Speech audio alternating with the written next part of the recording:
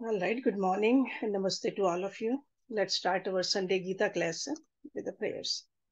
Oh, Parthaye Pratibodhitam Bhagavata Narayan Swayam Vyasena Gratitam Puran Munina Madhye Mahabharatam Advaitamritvashine Bhagavati Mashtadashadhyayane Am Tvam Anusandhame भगवद्गीते भवद्वेषिणे नमो अस्तु ते व्यास विशाल बुद्धे, full Arvind आयत पत्र नेत्र येन तव्या भारत तैल पूर्ण, प्रज्वलितो ज्ञान में Pradeep.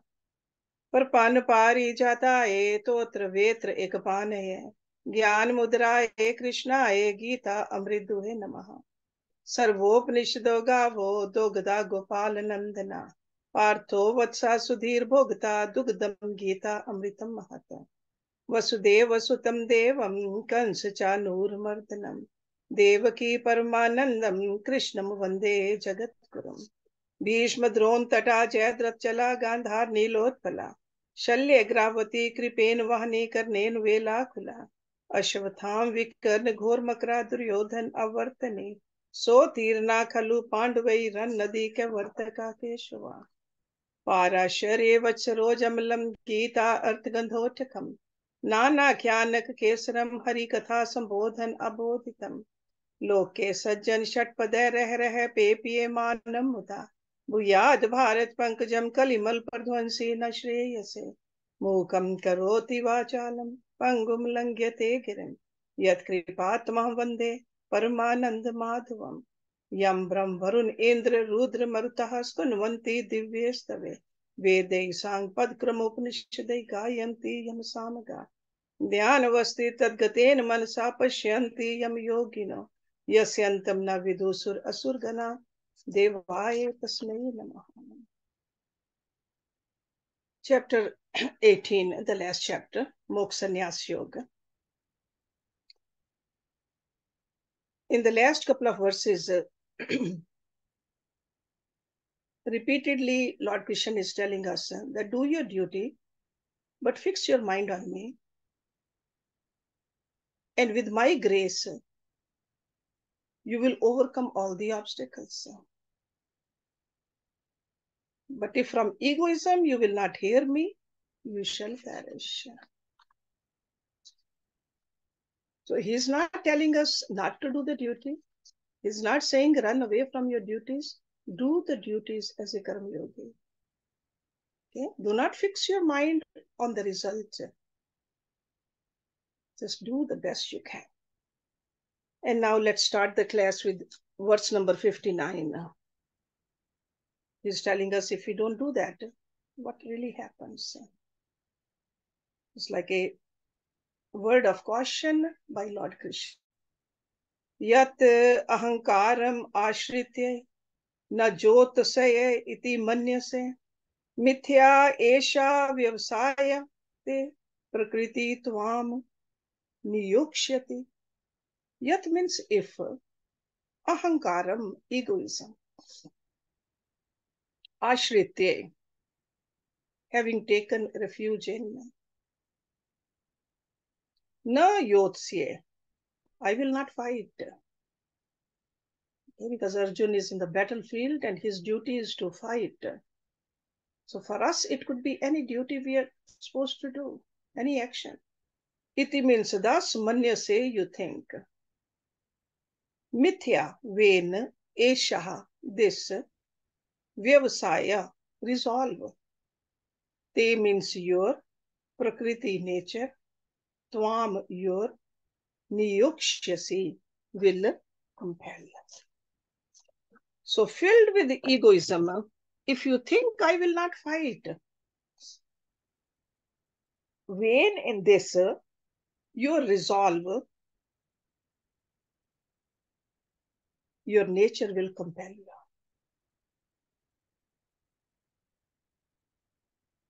So this is a very general statement of truth.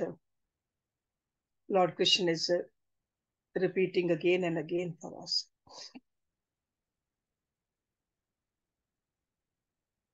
Due to a sense of uh, self-importance, That is ahankaram.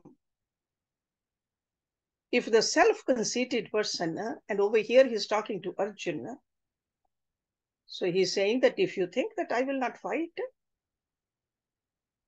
you shall be thinking this in vain. Because we know the temperament of Arjuna was Kshatriya, highly passionate. His Rajogun will assert itself. That is what the nature is. Nature will compel you. Because the false arguments raised by Arjun for not fighting the battle are all compromises made by his ego with the situation. In that situation where he had to fight with those great warriors, his relatives. So that was making him run away from that battlefield. So Lord Krishna is saying, even if you were to follow your temporary attitude to desist from fighting, it is a law of nature that your mental temperament will assert itself at a later period in life. And at that time, you may not have the feel to express it. You won't be able to exhaust your vasanas. And also because of the following reason, you must fight. And that reason he's giving the, in the next verse. So this is like a continuation of the words of warning from the previous verse. स्वभाव जेन कौन्त्य निबधा स्वेन कर्मणः कर्तुम न इच्छसि यत मोहात कृष्यसि अवशः तत् स्वभाव born of your own nature कौन्त्य that's Arjun nibadha bound swain your own karmana by actions kartum to do Na means not, ichhasi, you wish. Yat means that, mohat, through delusion. Karishyasi, you shall do. Avashaha, helpless. Api means also, that means that. O son of Kunti, bound by your own karma, born of your own nature, that which through delusion you wish not to do. Even that you shall do helplessly. Avishaha. so Lord Krishna is saying that I am asking you to fight. Not because I have no personal sympathies for you, but because that is the only course left for you. You have no other choice. Even though you are insisting that I will not fight, he says it's merely an illusion. Mohat.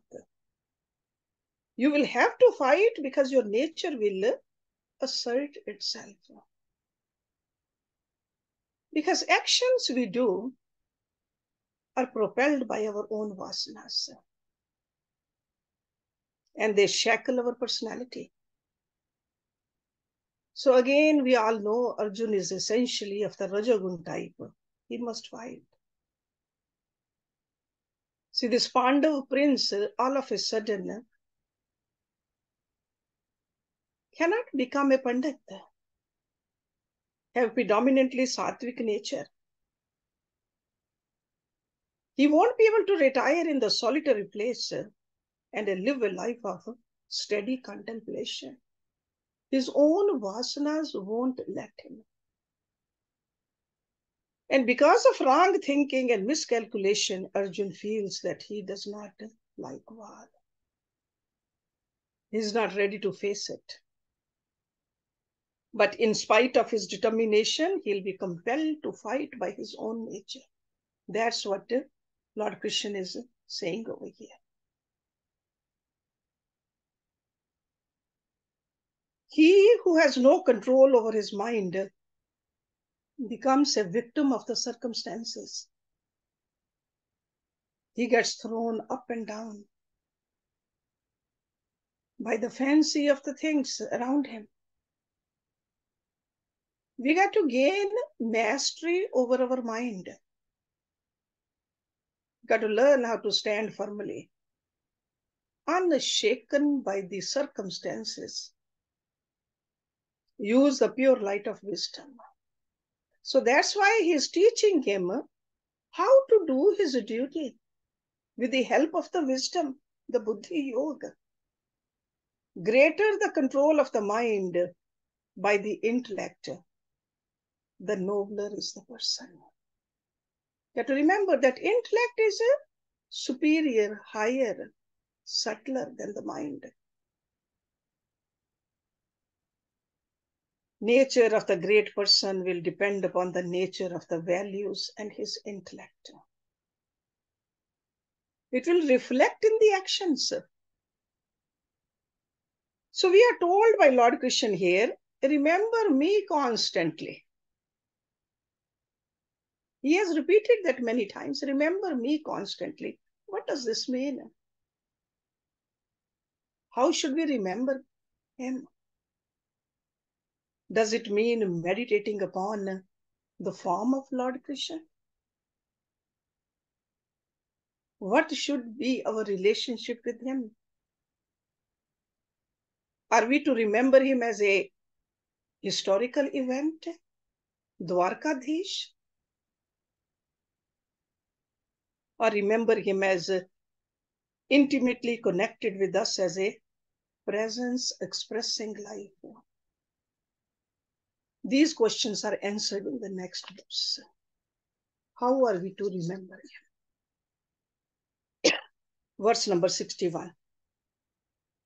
ईश्वरा सर्वभूतानां हरिदेशे अर्जुन तिष्ठति ब्राह्म्यन सर्वभूतानि Yantra Arudani Maya.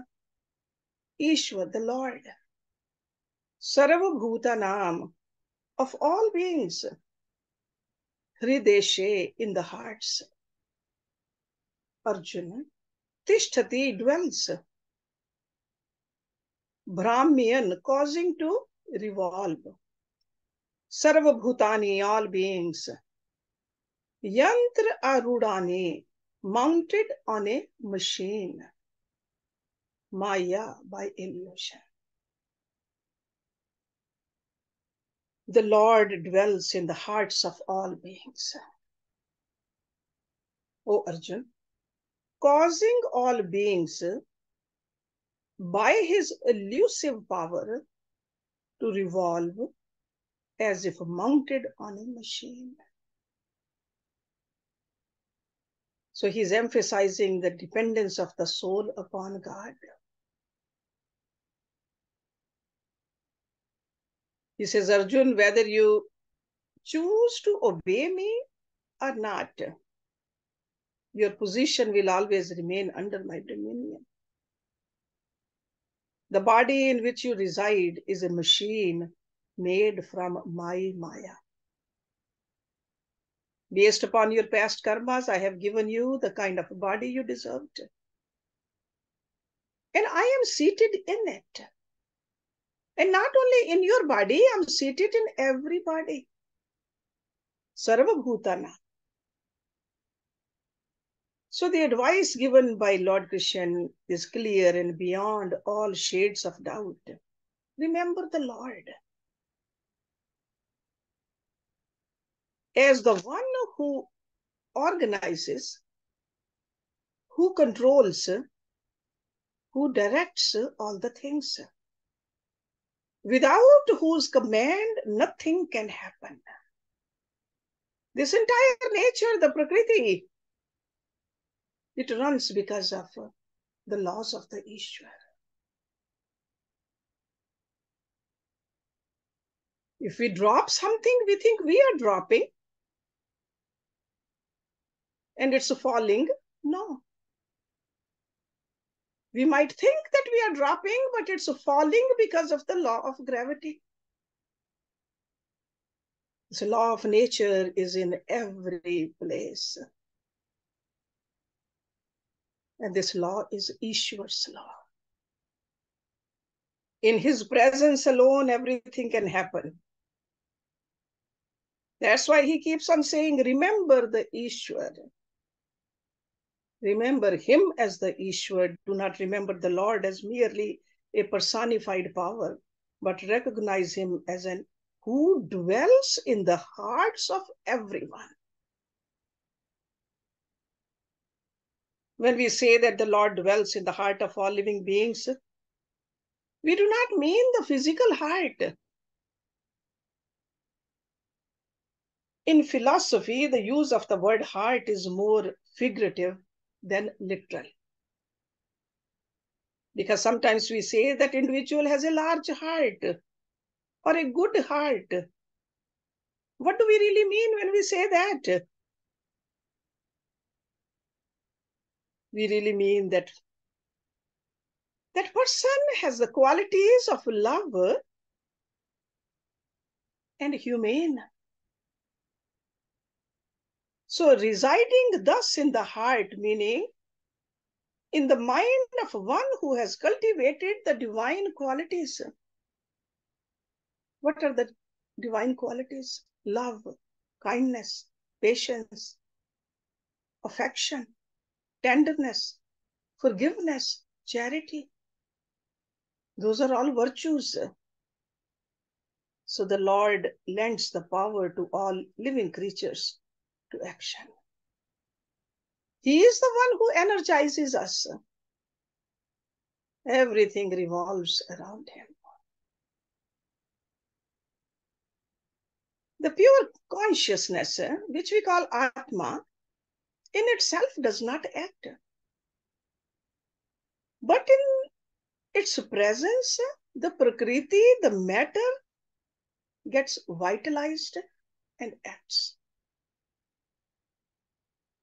And Prakriti is our body is made out of Prakriti. Our mind is also made of Prakriti.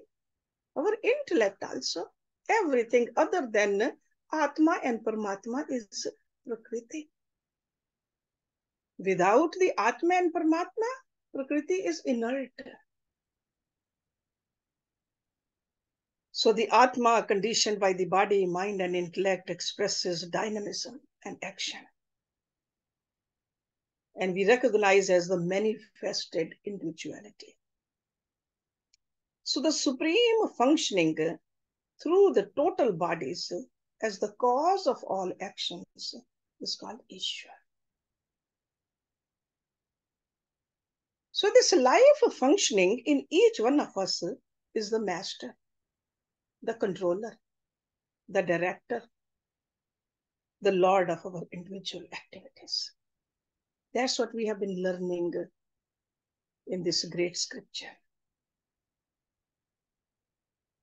So what he says that uh, you don't think you are independent of me in any condition.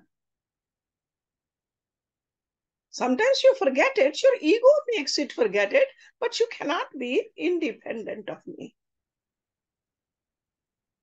So we got to always remember how do we remember? Through all our activities.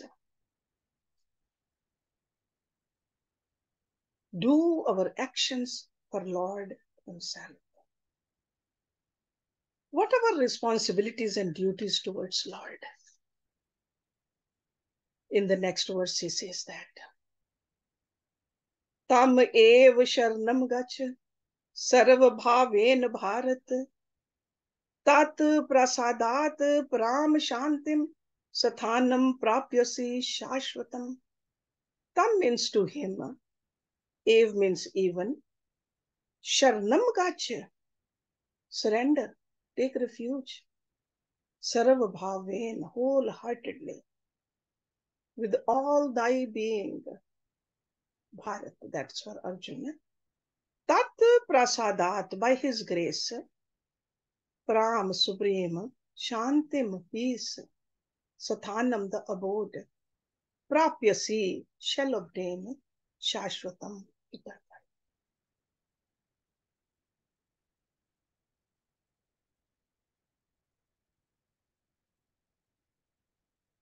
surrender and fly unto him for refuge. Tam eva sharanam gacha. With all your being, that means wholeheartedly. O Bharat, by his grace you shall obtain supreme peace and the eternal abode. So Sharanam Gacha. Being dependent upon God, the soul must also depend upon His grace to get out of its present predicament. That's the only way to attain the supreme ultimate goal. Self effort is needed, but it's not, it's never sufficient. We need God's grace also. He grants His divine knowledge, divine bliss, and He is the one who releases us from this bondage. However, to receive that grace, that we need to qualify ourselves by surrendering to Him. Tam ev sharanam gacha. And what are we surrendering?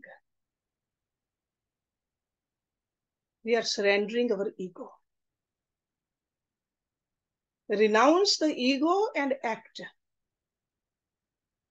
The ego is the cause for all our sense of imperfections and sorrow. Because what is ego? Ego is a non identification with our self, the real self. That's the ego. Thinking that I'm the body, I am my achievements, I am my intellect, I am my trophies. They are all limited. They are nothing compared to Him.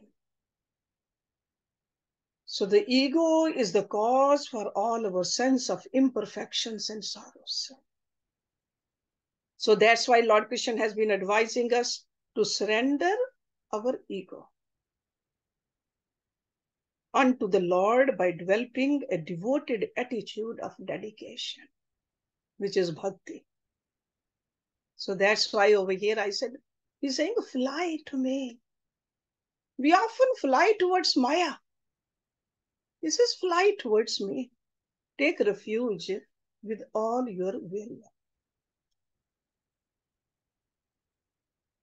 We are often very skeptical about these kind of assurances which God made Himself. We like to question everything. We want to be intellectually convinced. So that's why He is convincing our intellect also. He says, live and act with your heart resting in self dedicated surrender to the consciousness. So do your duties, do what you need to do, but have a little harmonious oneself of life everywhere. So we are asked to identify ourselves with the soul rather than the vehicles of its expression. Because when we are expressing ourselves, identifying with the vehicles, whether it's a body, mind, intellect, that is ego. And he who has surrendered totally gains an intellect which is fully awakened. And external circumstances cannot toss and crush him or his individuality. The body and mind of such an individual who has learned ever to keep the refreshing memory of the present will never make a foolish demand. So that's why he says, You will have my grace. Remember, to the extent we identify ourselves with God, to that extent His light and power becomes ours. That is called prasad, the grace. And as what happens with that grace? Grace keeps on accumulating within through that integration of the personality, constant surrender of the ego, we obtain the supreme peace, he says. Tat prasadat pram shantim. Supreme peace and the eternal resting place also. See, just look, look at him. First surrender wholeheartedly. We'll have a grace. Through that grace, supreme peace, through that supreme peace, we will obtain the eternal abode. In this verse number 62, how much he is promising us. But it has to start from us, though. If we don't do the first thing, we don't surrender our ego, then sure, the rest will not happen. And also remember this beautiful word, Sarva Bhaven, with one's all being. So that means the surrender should not be a temporary self deception. We must grow into a consciousness of the presence of the divine in all the planes of our existence. That is Sarvabhaven. Because without bringing all the levels of our being and all the facets of our personality to love Him, we won't be able to drown our ego sense.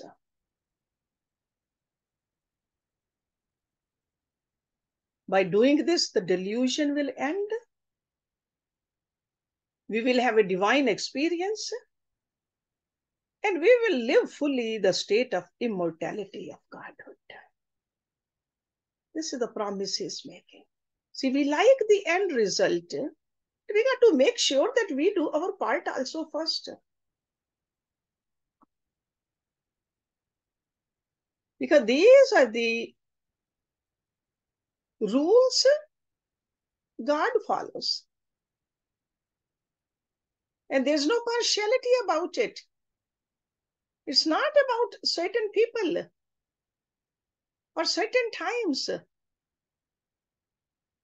God follows his rules. He never breaks them. We got to remember that. So, in conclusion, Lord Krishna says, Iti te jnanam akyatam guhyat guhtaram meya vimrishye etat ashashena yatha ichasi तथा कुरु। इति means दास्य, ते means to you, ज्ञानम wisdom आख्यातम explained और declared. गुहियात। Then any all any secret, से गुहियात। गुह तरव greater secret. May ah by me. We मृष्य है Vimrishya means pondering or reflecting. So having reflecting upon. Etat this asheshen, fully. See, shesh means a remainder. Oh, shesh means no remainder, nothing left out, fully, completely. Yatha means as, ichhasi, you wish, you choose. Tatha means so, Kuru means act or do. The wisdom which is greater secret than all secrets has been declared to you by me. Having reflected upon it fully, you now act as you choose. This can be considered the closing verse of the Gita discourse, actually. Because Lord Krishna is giving Arjuna the freedom. He says, I did my part as a guru, as a teacher. Now, the ball is in your court. You do as you wish. And what is the secret? Secret means a profound. Spiritual knowledge is profound and it's not realizable through direct perception. We cannot see it with these eyes. That's why Lord Krishna mentioned earlier that I'll give you the Gyan Chakshu. You cannot see me even though I'm here. So that's why he's using the word Guhyat and Guhutaram. It needs to be learned through the gurus and the scriptures. That's why it is described as a secret. We saw in the second chapter also, Lord Krishna revealed the knowledge of the soul. Because second chapter, Sankhya Yoga. He used the word guha, the secret knowledge. Then again in the seventh and the eighth chapter, he expressed his power as guhatar, more secret. And ninth chapter, he used the word guhatam, the most secret. That was a bhakti. Ninth chapter was about bhakti. So remember that secret doesn't mean that you don't tell anybody. Secret means it's very profound, so subtle. Like a bhakti, can we see bhakti? Bhakti is the rust in our life, which we cannot see, can't even express. Guhutam. So the spiritual truth and the right way of living which has been discussed in this great scripture. That is the secret of all secrets. So it's not easy for a person to know the Gita way of dynamic life or the Gita way of truth unless we start living the truth of Gita the wisdom of Gita. This is not something just to be read, not something just to be remembered, memorized. Gita teachings we got to live. Even a subtle intellect, uh, which is very efficient in knowing the material world, will fail to feel the presence of this subtle, eternal, infinite self. So, guhyam. Often it's misused, this word, and we think that we cannot just share it with anybody. So then he says, reflect over it, vimrishya. Any amount of listening cannot make us a wise person. We got to learn how to apply this knowledge. Because we know the knowledge gained through reading or listening must be assimilated. We got to learn how to bring this into our understanding. Only then it can become wisdom for us. We got to learn how to put the ideas between the mind and the intellect and chew them properly. That is reflection. In Sanskrit, it's also called manan. Manan. So then he says, therefore, so after reflecting upon it, you act as you please. We all have the choice, the free choice. Do we want to follow the Gita wisdom? Because there's no compulsion. In the outer material world, there could be compulsions, but in the path of spirituality, there's no compulsion. A human personality cannot be forced by compulsion to grow into its moral, ethical, and spiritual unfoldment. By law, we have that choice. Law of nature, I'm talking about. Certain directions are pointed out by the gurus and the sages. But ultimately, it's our choice. So the true masters will not persuade their generations through even through miracles uh, or violence uh, or false promises. They only give the wisdom and they say it's up to you. That is the quality of a true prophet.